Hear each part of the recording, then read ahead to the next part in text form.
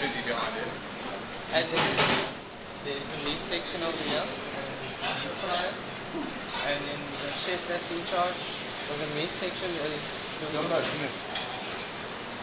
That's the chef, Jumbo.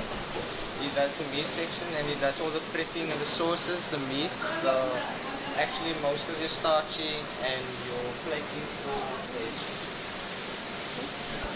So we're gonna go. This is the flat top, this is the main grill.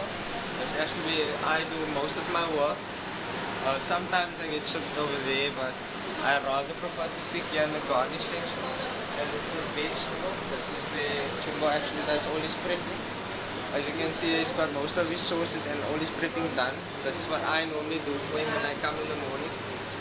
And then the chef say sauce, as I said on the radio, with linguine and panini. As you can see, we just do it with oil and then this is the fish station, the one that I gratefully don't like. Because I have to sit with the tongs and pull out the bones and. And my friend over here, he's John, he's the one that's in charge of the garnish section and the veg. And then Bubbles. Bubbles Bubbles. He does the pastry and like mostly all the small dishes over here. See, she's already doing a cheese board for an order with some pig sauce as I can see there, pig jam. And then over here, you can go to the larder section.